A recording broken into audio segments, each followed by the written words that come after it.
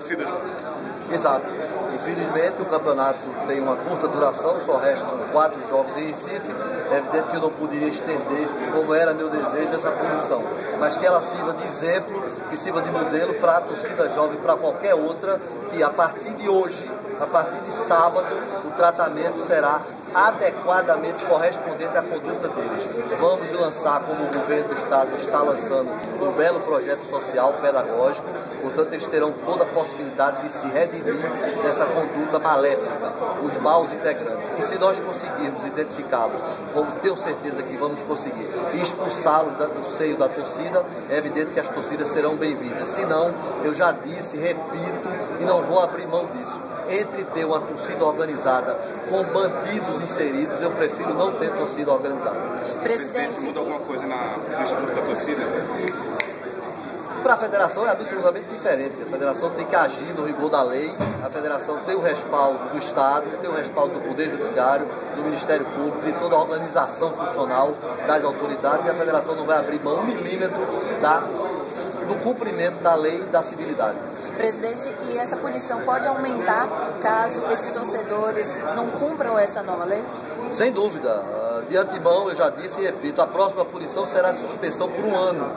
A terceira será por três anos e a quarta será de extinção absoluta.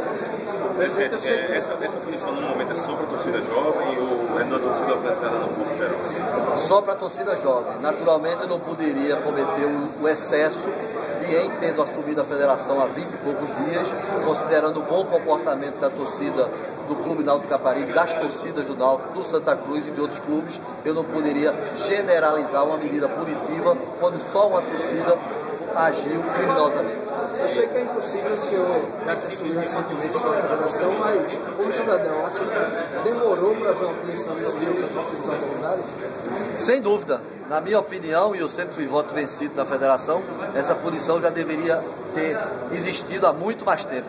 Mas felizmente, antes tarde do que nunca. Como é que vai ser feita essa proibição? A proibição já está determinada, o policiamento militar vai agir coibindo qualquer torcedor que compareça a campo identificado como membro da torcida, seja por camisa, por faixa, por chapéu, por banda, enfim, qualquer meio que exteriorize a condição de grupo dessa torcida, quem assim comparecer será detido.